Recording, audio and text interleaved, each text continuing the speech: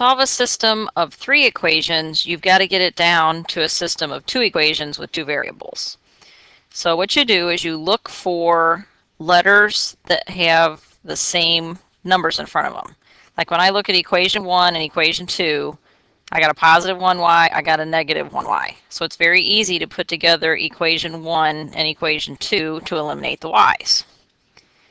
So equation 1 is 3x plus y plus 2z equals 1.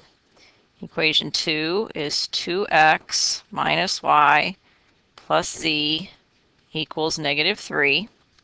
So what I'm going to do is I'm going to add these two equations together. So 3x plus 2x is 5x.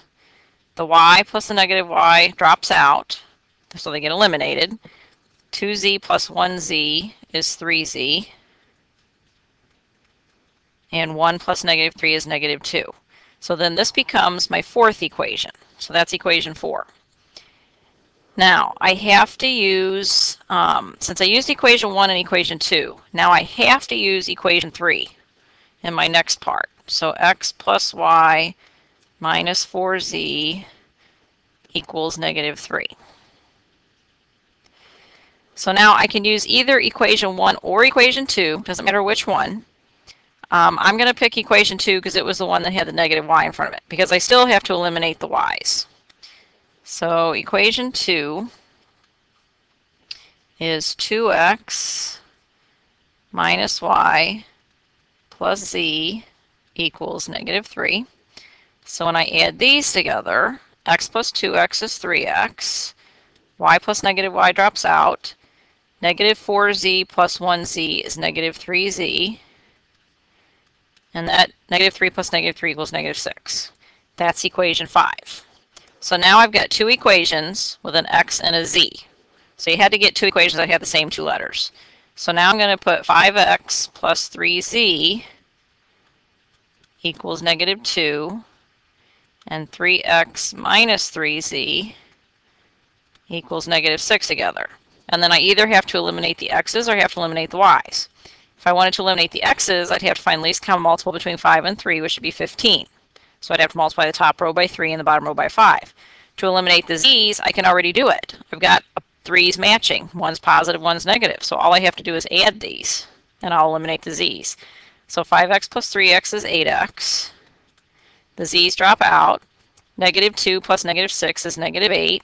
Divide each side by 8, and I know x is negative 1.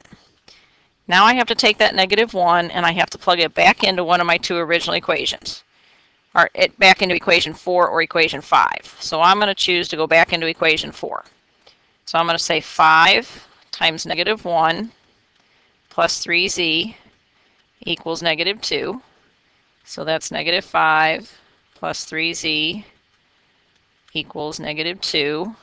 Then I get the z by itself. I got to turn the negative 5 into a 0. So I add 5 and I get 3z equals negative 2 plus 5 is 3. Divide each side by 3, and z is 1.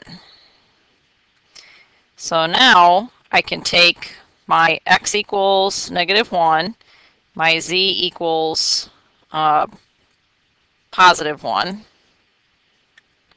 and I can plug them back into one of my three original equations. So it doesn't matter which one you pick. Um, I'm going to pick equation 3. So I'm going to go back and pick equation 3 and say x is negative 1 plus y minus 4 times z, which is 1, and that equals negative 3. So then this is really negative 1 plus y. Negative 4 times 1 is negative 4 equals negative 3. I can combine negative 1 and negative 4 because they're on the same side and get negative 5 plus y equals negative 3. Uh, get the y by itself, I would have to add 5 to get 5 to turn into a 0, and I would end up with y equals 2. So to write my answer, it becomes an ordered triple. So x is negative 1. Alphabetically, y comes next, so that's 2, and z is 1. So it's negative 1, 2, and 1. And of course, you can go back and check all that just to make sure you're right. And you can say is 3 times negative 1 plus 2 plus 2 times 1, actually going to come out 1, and that will check, is 2 times negative 1 minus 2 plus 1, going to come out to be negative 3, and if you do it, that will check. And if you do negative 1 plus 2 minus 4 times 1, does that come out to be negative 3? And yes, it will check.